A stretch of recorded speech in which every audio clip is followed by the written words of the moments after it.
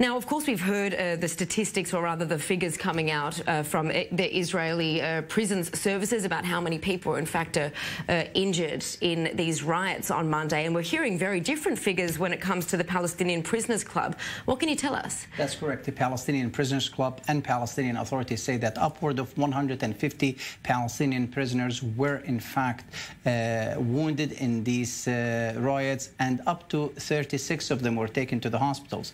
According to a couple of lawyers of these prisoners, they say that they've witnessed and seen injuries uh, to their, uh, uh, you know, to, to, the prisoners, and they've taken pictures of it. Now, the, there is discrepancy in these numbers, but the one fact that we know that the tension and the situation in these uh, prisons, among them Ofer prison near uh, the city of Ramallah, is definitely high. And this is the one issue, Tracy, that really unifies all Palestinians uh, on one issue, despite the divide between Gaza and the West Bank, despite the division between Fatah, Hamas, and the Islamic Jihad and the Popular Front for the Liberation of Palestine. This is the one issue that really brings Palestinians together. And I've uh, covered the Palestinian hunger strike of a couple of years ago and the situation with the prisoners. And you can rest assured if this situation really escalates, as we just mentioned, if Palestinians take out to the streets tomorrow and to the checkpoints uh, where they will clash with Israeli soldiers inside in the West Bank,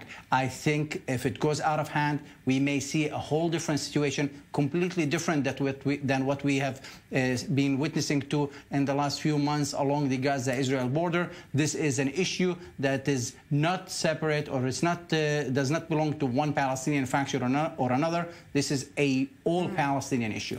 And now another issue, but again pertaining to to prisoners, the Palestinian Authority is saying that it's released over 135 million dollars in payments for imprisoned and released terrorists in 2018. Now, we know that this is the first time since 2015 that the PA has released uh, figures of this kind, although it doesn't specify, though, how these funds were distributed. So what do we know?